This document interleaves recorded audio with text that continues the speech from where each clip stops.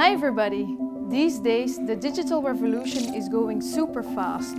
Soon we will have virtual meetings like this, all thanks to 5G. That's the 5G that operates in the millimeter wave spectrum. It is this very promising MM wave spectrum that our researchers are focusing on.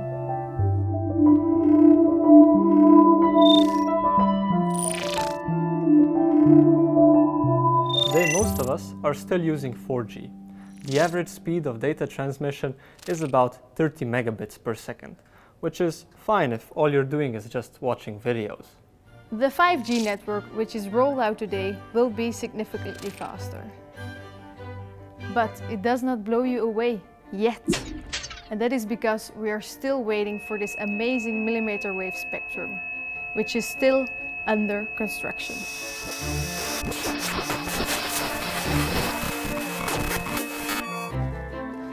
If we compare this 4G frequency or this Wi-Fi frequency to the MM wave spectrum, these MM waves are much shorter.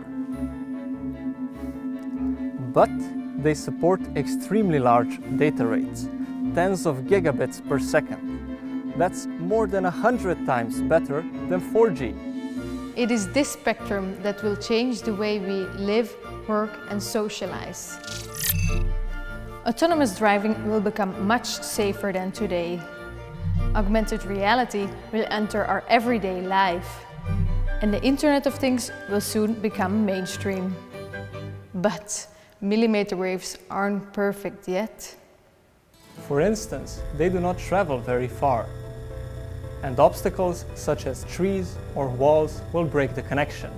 By making transmission devices smarter we are working on ways of bypassing these obstacles and using MM waves alongside other more traditional frequencies. So hopefully this millimeter wave spectrum will be up and running soon. All these young researchers are working hard on it, so the digital revolution can come quickly. Thanks for watching, bye!